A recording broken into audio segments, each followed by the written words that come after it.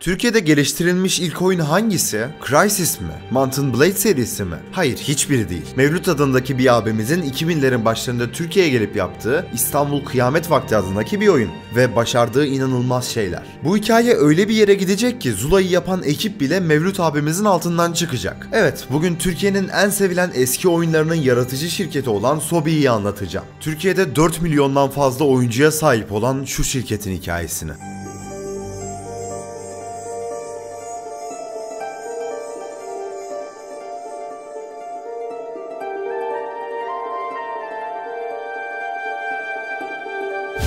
Merhaba, videoya hoş geldiniz. Ben Kuel.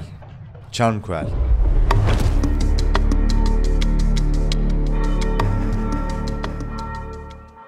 Her şey 1957 yılında doğmuş Mevlüt Dinç sayesinde başladı. Bu adam başlangıçta yurt dışında iktisat okuyan basit bir insandı. Yüksek lisansını tamamlamak için 1980'lerde İngiltere'ye gitmişti. Orada tanıştığı arkadaşı ona yeni bir bilgisayardan bahsetmişti. Sonrasında Mevlüt abimiz de ne lan bu bilgisayar olayı deyip bilgisayarlara bakmaya başlamıştı. Ardından bu konuyla alakalı kitaplar aldı ve bilgisayarı öğrenmeye başladı. Yazılım dillerini öğrendi. İşte bu karar yüz binlerce oyuncunun kaderini değiştirecek o büyük hamleydi. Birkaç yıl süren öğrenme aşamasından sonra sonra kendine bir oyun yapmak istedi ve 1985 yılında ekranda gördüğünüz bu oyunla birlikte oyun piyasasına ilk adımını attı. Bu oyundaki amacımız yaratıklardan ve tuzaklardan kaçıp elmasları toplamaktı. Mevlüt Dinç'in tek başına tasarladığı bu oyun İngiliz bir telekom şirketinin dikkatini çekmişti ve sağlam bir anlaşma karşılığında İngiliz şirketine satıldı bu oyun. Mevlüt abinin bu başarısı sadece telekom şirketini değil Activision'ın da ilgisini çekmişti. Evet adam ilk yaptığı oyunuyla birlikte Call of Duty'nin yapımcısıyla anlaşma masasına oturmuştu. Tabii o zamanlarda Activision Activision'ın Call of Duty'si yoktu yanlış anlaşılmasın.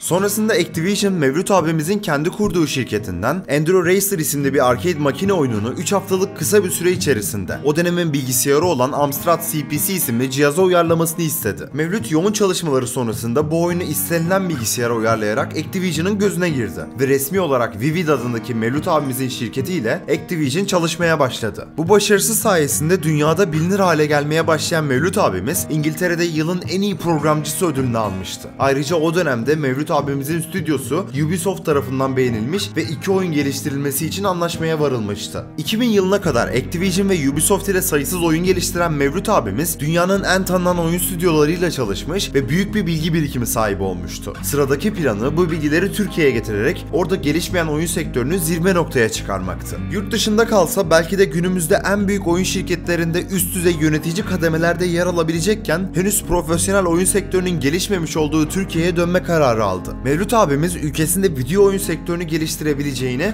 ve bunun kendisi için bir gurur kaynağı olacağını düşünüyordu. Bu doğrultuda ülkeye geri dönen Mevlüt abimiz soyadını taşıyan Dinç Interaktif firmasını kurdu ve Türk oyun sektörünü geliştirme hayalinin ilk adımını attı. Gelir gelmez kolları sıvadı ve 2002 yılında Game Boy için Dual Blaze oyununu geliştirdi. Metro 3D isimli şirket tarafından yayınlanan bu oyun hem Amerika'da hem de Türkiye'de yüz binlerce satış yaptı. Henüz yayınlandığı ilk oyundan büyük bir başarı elde eden Mevlüt abimiz 2004 yılında şirketin ismini Sobi olarak değiştirdi. Bir yandan da bir akım başlamıştı. 2004 senesinde World of Warcraft'ın çıkışıyla birlikte 3-4 senede MMORPG kültürü neredeyse tüm dünyayı sarmıştı. Tabii ki Türkiye'de bu kültürü kapanlar arasındaydı. İnternet kafeler MMORPG oyunları oynayan gençlerle doluydu. Mevlüt abimiz piyasadaki MMO açlığını çok iyi gözlemledi ve elindeki 100 bin dolarlık bütçeyle MMO furyasına dahil olmak istedi. Türkiye'nin ilk geniş çaplı oyunu olacaktı bu. Hemen planlamaya geçtiler ve İstanbul'da geçecek bir MMORPG oyunu tasarladılar. İsmini de İstanbul Kıyamet Vakti koydular. İşte bu oyun Türkiye'nin ilk büyük çaplı oyunu olacaktı. Ama bir sıkıntı vardı. Türkiye'de oyun sektörü gelişmemişti. Daha önce söyledim bunu. MMORPG oyunu yapacaksanız en önemli şeylerden birisi oyun motorudur. İşin kötü tarafı Türkiye'de bu işte uğraşan kimse yoktu. Yani böyle şıp diye oyun motoru bulunamıyordu. Bu yüzden Mevlüt abimiz kendi ekibiyle beraber bir oyun motoru yazdı. Sonrasında oyunun yapım aşamasına geçildi. Tamamen sıfır bir oyun motoru ile geliştirilmeye başlayan İstanbul Kıyamet Vakti 2 yıl süren geliştirme sürecinin ardından 2006 yılında piyasaya sürüldü. Oyunun yayıncılığı için Mynet ile anlaşılmıştı ama reklamlama kısmında beklenilen olmadığı için Mynet anlaşmayı tek taraflı feshetti. Ardından Mevlüt abimiz yeni bir yayıncı arayışına girdi ve Türk Telekom ile masaya oturdu. Ve gerçekten o dönem için mükemmel bir anlaşma yaptılar. Bu anlaşma sonrasında artan bütçeyle oyun sürekli geliştirildi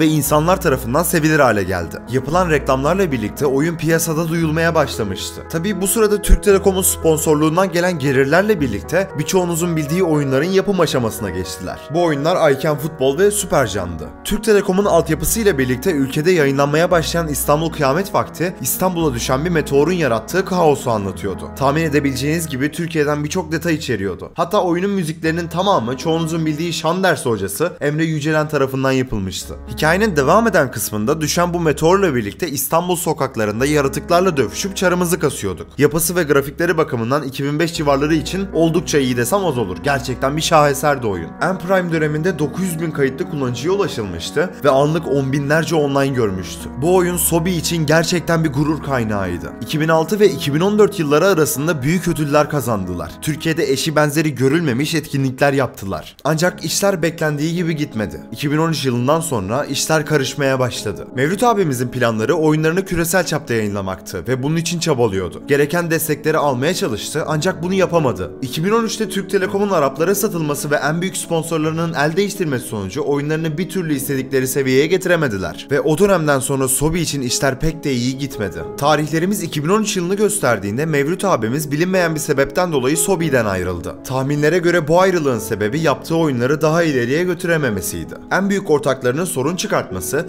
ve gelişen sektöre rağmen Türkiye'deki yetersiz destekler oyunları geliştirmelerine engel oluyordu. Bu durum Mevlüt abimizin artık devam edememesine yol açtı ve şirketten ayrıldı. Bu ayrılık şirket içerisinde büyük bir yıkıma yol açtı. Mevlüt abimizin ayrılması ile birlikte şirket dağılmaya başlamış ve işler neredeyse durma noktasına gelmişti. Mevlüt abimiz ayrıldıktan sonra şirketten ayrılan kıdemli isimler de oldu ve bu isimler de başta dediğim Zula'yı yapmaya başladılar. Hatırlarsınız Batış Hikayesi videomda Madbyte Games'in oyun sektöründe deneyimli 4 ortak tarafından kurulduğunu söylemiştim. İşte bu şirketin atası Sobi şirketiydi. Kısaca Mevlüt abi Türk oyun piyasasını elinden geçirdi desek yalan olmaz. Tabii Zula'nın ne kadar iyi olduğu tartışılır. Neyse. Dağılma sürecinden sonra Sobi tamamen Türk Telekom'a satıldı ve İstanbul Kıyamet Vakti'nin yönetimi Türk Telekom'a geçti. Ve Türk Telekom'un Arap yönetimi oyun sektörüne önem vermediği için yavaş yavaş unutulmaya başladı İstanbul Kıyamet Vakti. 2018 yılında Türk Telekom'un yeni yönetimiyle birlikte oyuna hatalı bir güncelleme geldi. Oyunun para birimi olan Bonobugu keşfedildi